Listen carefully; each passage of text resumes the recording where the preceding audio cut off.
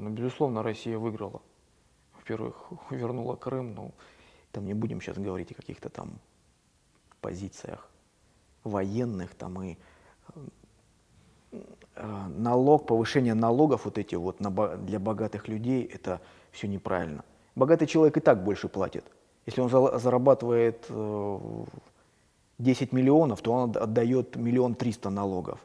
Человек, который зарабатывает 100 тысяч, отдает всего 13 тысяч. Богатый человек и так больше отдает налогов. А к чему приводят эти налоги на богатство, мы видим на, на примере э, той же Франции, когда люди стали э, уходить, да, даже там, просить э, гражданство у других стран, у России, да, чтобы не платить эти налоги. А налоги платить надо обязательно, это как бы правило. Но э, если государство, скажем так, неправильно, нецелесообразно э, повышает налоги, то это уже некое, некое воровство идет со стороны государства, и э, человек имеет право в, в этом случае э, защищаться каким-то образом.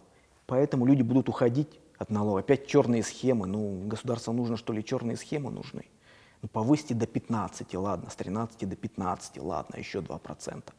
Вот. Но вот это, опять же, вот эти вот э, 20 лет мы, э, государство наше, наше руководство шло к тому, чтобы э, все по белым схемам работало, да, по белым зарплатам. Сейчас они опять хотят уйти назад, что ли, в черные схемы, в конверты.